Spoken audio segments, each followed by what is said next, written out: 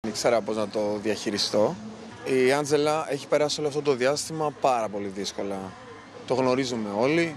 Είχε χάσει τη μητέρα της και παρασκηνιακά γενικά όλο αυτό το διάστημα είναι, είναι δύσκολο όλο αυτό που περνάει η Άντζελα. Τι θα γίνει από εδώ και πέρα; Κοίτα, δεν, ξε- δεν ξέρω. Αυτή τη στιγμή ξέρω ότι δεν έχω coach. Αναπάντεχη αυτή η αποχώρηση.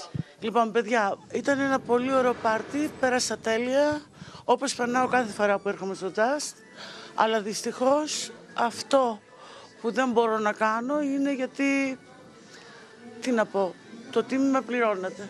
Τη στιγμή που έχω πρόβλημα πρέπει να το πληρώσω.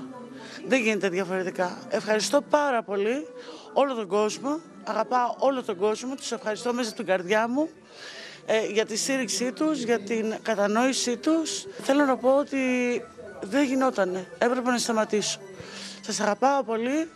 Θέλω να, να, κα- να κατανοήσετε αυτά που λέω, να με καταλάβετε.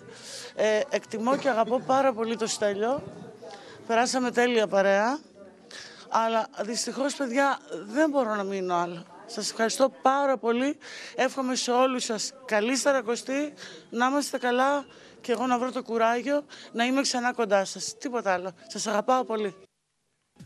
Θα σας πω γιατί είπα ότι ίσως να υπάρχει και κάτι άλλο πέρα από το, το γεγονός ότι μπορεί να μην είναι καλά ψυχολογικά η γυναίκα λόγω της μητέρας της. Γιατί βιαζόταν να φύγει και από τη σκηνή. Δηλαδή την ώρα που της λέγανε κάποια πράγματα, πήγαινε να πει κάτι ο Στέλιος, πήγαινε να πει κάτι ο Νίκος, πήγαινε να... η... Κρι- μίλαγε η Βίκη Σταυροπούλου και της έλεγε Άντζελα λυπούμαστε. Ε, φ- φεύγω. Δη- Σαν να μην άφηνε να μιλήσουν οι άνθρωποι. Γι' αυτό, γι αυτό μου, μου εισέπραξε ότι μπορεί να έχει παρεξηγηθεί και με κάτι. Μπορεί η αφορμή να είναι και κάτι άλλο. Οκ, κάτι εσωτερικό λοιπόν. Ναι, μες στο show, πέρα το όμως από το οποίο- ψυχολογικό, γιατί σίγουρα